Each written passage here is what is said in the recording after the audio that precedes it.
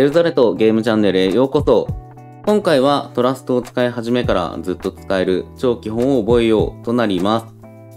プラトゥーン3が発売されてそろそろ1年ぐらい経ちますが、皆さんは武器は固まってきてるでしょうか？僕自身は未だにトラストを使い続けていますが、最近スプラ3を始めた初心者の方や弓に移行した人をちらほら見ます。ここで今回は初心者からずっと使える弓使いの超基本を次の順で紹介していきたいと思います。今後も更新をしていきますので動画を見てチャンネルを応援してくれる方はチャンネル登録と高評価をぜひお願いします。それでは早速解説していきたいと思います。まず弓を使う上で押さえておきたいのは各マップのポジションについてです。弓を使う上でメインを当てれるようになるにはポジションを取ることが重要となります。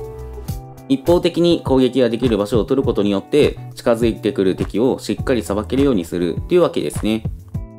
ポジションで攻撃できない後衛はよっぽどの実力がない限りキルは取るということは難しいです。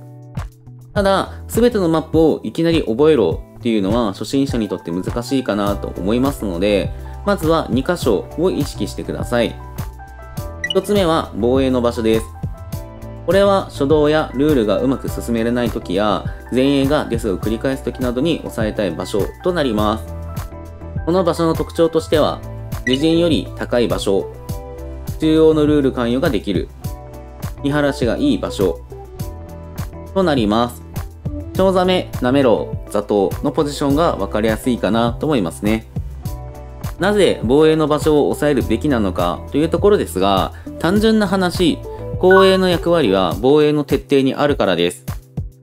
前衛のように連キルを取って押し込むっていうのはよっぽどでない限り難しいっていうのがあります。なので、攻めてきた相手を倒し、カウンターを狙うっていうのが基本となるわけです。この行動を徹底するには、防衛の場所、いわば初動の安全な場所を維持することが重要となります。2つ目は、中央付近の攻めの場所となります。これはチームが有利な時に自分が出るべき場所となります。この場所の特徴としては、敵陣の攻めルートが見える、壁があって避けれる、敵陣よりちょっと高めとなります。こちらも、チョウザメ、ユナハナ、スメーシのポジションが分かりやすいかなと思いますね。攻めの場所に関しては、後衛が射程の押し付けをできる場所となっているため、前衛のサポートがしやすくなります。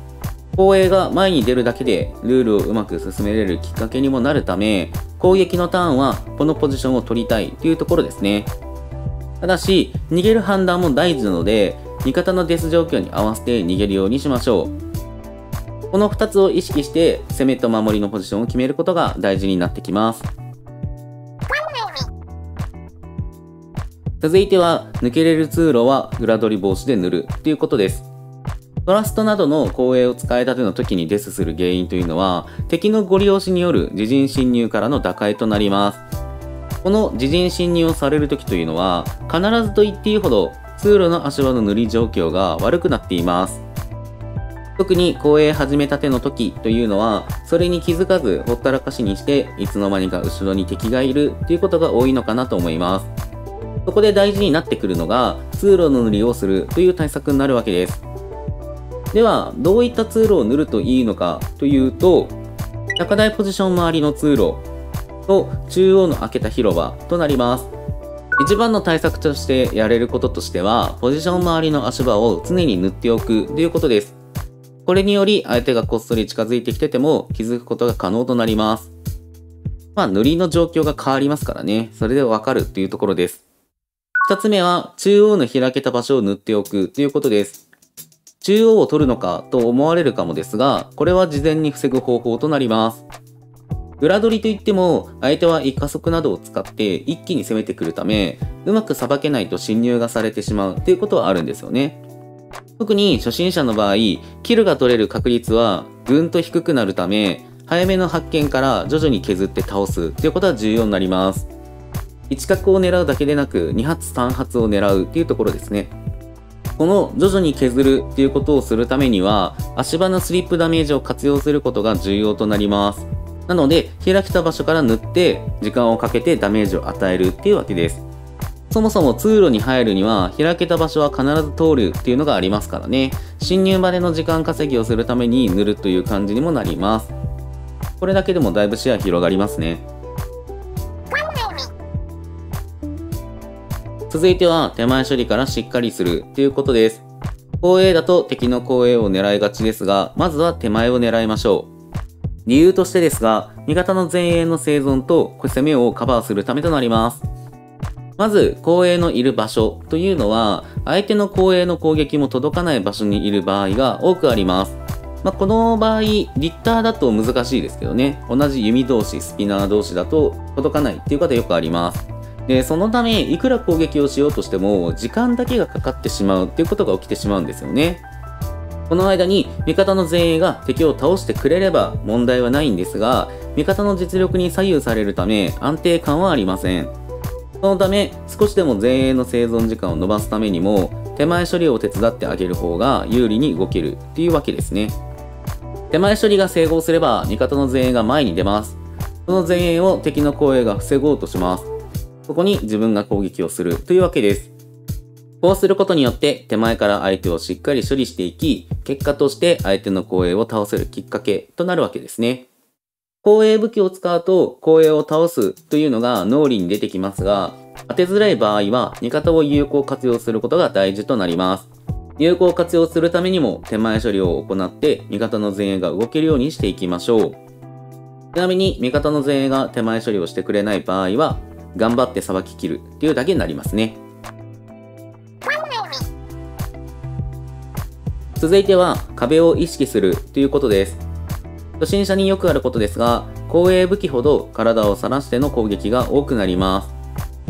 シューターなどの武器の場合ですが、攻撃からイカ状態になるまでの時間が早く、イカ移動で何度か避けれます。ですが、トラストの場合、チャージしてからジャンプ打ちなどをするため、攻撃の回数の割に体を晒す時間っていうものが長くなるんですよね。特に使いたての時というのは、狙うことに夢中になって体が外に出がちです。この隙に相手の後衛に倒されるということがよくあります。